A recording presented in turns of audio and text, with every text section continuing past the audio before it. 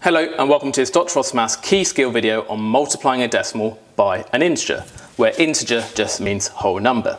So we've got a decimal times by a whole number. Now, I'm going to write out the steps and then we're going to carry them out. So step one is to just ignore the decimal points. We'll kind of unignore them later. Step two is just multiply the numbers as if they were whole numbers because we're ignoring the decimal point. And then step three is adjust for the movement in decimal points, and I'll explain what that means. So, if I ignore the decimal point here, that's just 108 times 4, so let's do that. So 108 times 4, 8 times 4 is 32, we put the 2 there, carry the 3. 0 times 4 is 0, plus the carried 3 is 3 and 1 times 4 is 4, so we get 432.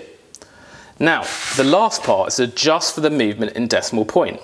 Well, it wasn't 108, it was 10.8. So we count from the end of the number how many times the decimal point moves. So we had one decimal place move here. And here, well, we did have four. We didn't have to change that number, so there's no movement there. So in total, if the decimal point has moved from the end of the number once, then starting from here, from the right, we move the decimal point once. So we get 23.2 would be the answer.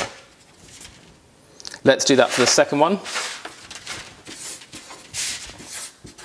6.825 times 7 we ignore the decimal point first, so we just treat it as 6,825 times by 7. So 5 times 7 is 35, so we put the 5, carry the 3. Then we do the 2 times 7, that's 14, plus the 3 is 17, so we put the 7, carry the 1.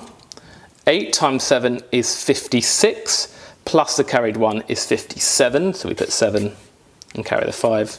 And then 6 times 7 is 42, plus the 5 is 47.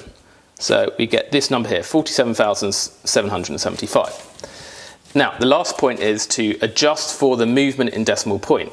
Well, we did 6825, 6,825, but the decimal point is actually here. So counting from the end, where the decimal point was in our number here, that's one jump, two jumps, three jumps. And there's no jumps here because 7 stayed as 7. So from the end of this number, starting here, because the decimal point starts after the units digit, we do one jump, two jumps, three jumps, so we get 47.775. And let me just put the decimal point back where it was.